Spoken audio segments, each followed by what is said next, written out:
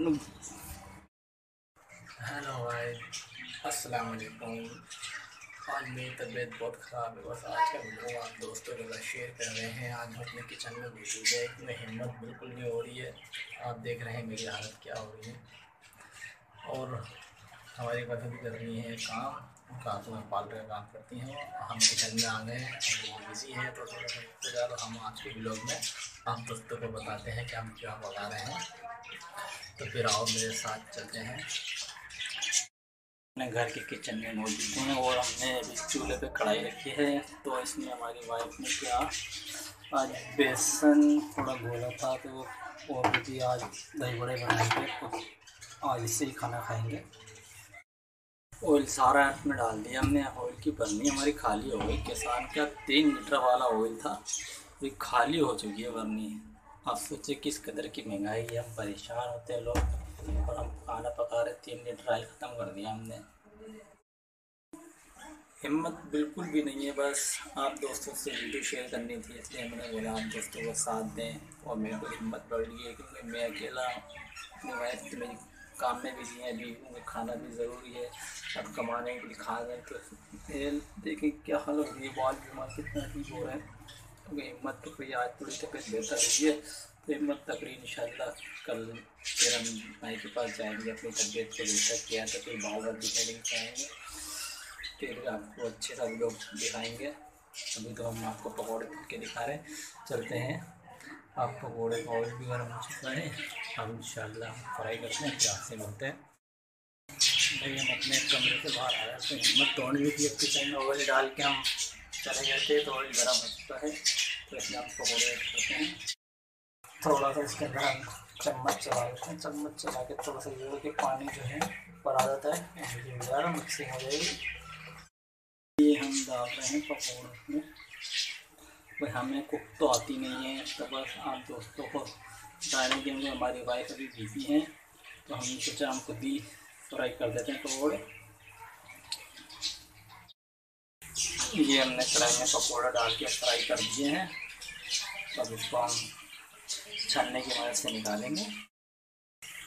जब घर में हमारी वाइफ बिज़ी होती हैं तो फिर हम यही सोचते हैं कि जगह वो मेहनत करें थक रहे होंगे, इससे अच्छा अगर हम तो सी कर लें, खाने पीने का इंतज़ाम करने के हमारी वाइफ ने बेसन खोल के रख थी थी इसलिए मैंने फ्राई कर दिया वरना ऐसे कभी करता नहीं मैं हिम्मत नहीं थी। और वाइफ दी मैंने बेसन खोल दिया, मुझे टाइम लग जाएगा। तो फिर मैंने बोला, चलो मैं ही फ्राई कर देता हूँ। फिर हम जाके बाज़ार में दही ले आएँगे।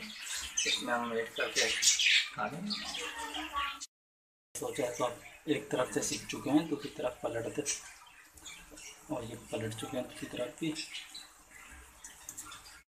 बताइएगा फ्रेंड कैसे लगती है हमारी आज का ब्लॉग जो है हमने अपने घर में कुक करी है। आप दोस्तों को दिखा रहे हैं कि हम जब वाइफ हमारी बिज़ी होती है तो हम कुक ही कर लेते हैं।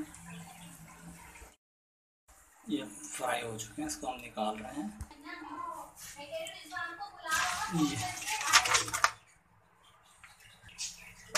फ्राई इसमें डाल दिए हैं। क्योंकि ऑयल वगैरह जो है कागज़ पे जल्द हो जाएगा।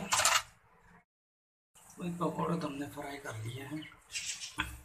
अब थोड़ा इनका जायका भी चेक कर लेते हैं। ये। बने तो बड़े अच्छे हैं यार। मतलब नमक इसका कम लग रहा है। फिर हम दही में करके पूरा करते हैं।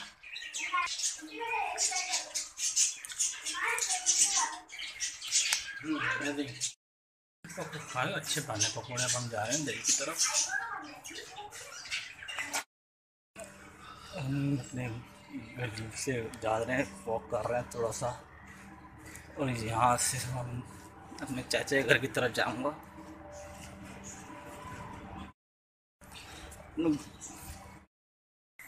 हम घर से बाहर जा रहे हैं।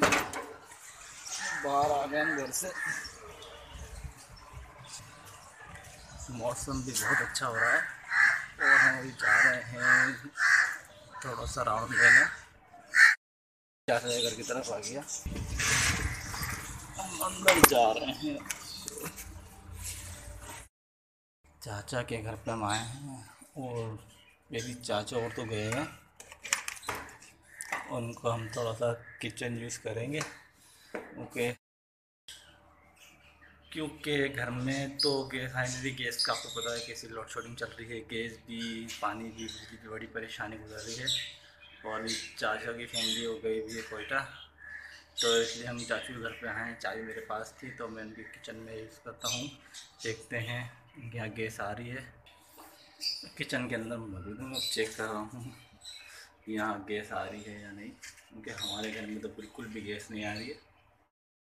यहाँ तो हल्की फुल्की गैस आ रही है, चाय हमारी बन जाएगी, इतनी गैस आ भाई, यहाँ तो गैस आ रही है, हम घर की तरफ़ जा रहे हैं, सामान वामान लेकर आएँगे, फिर मिलते हैं अगले ब्लॉग में आप दोस्तों के साथ। इजाज़त दीजिए मुझे, अल्लाह हाफिज़।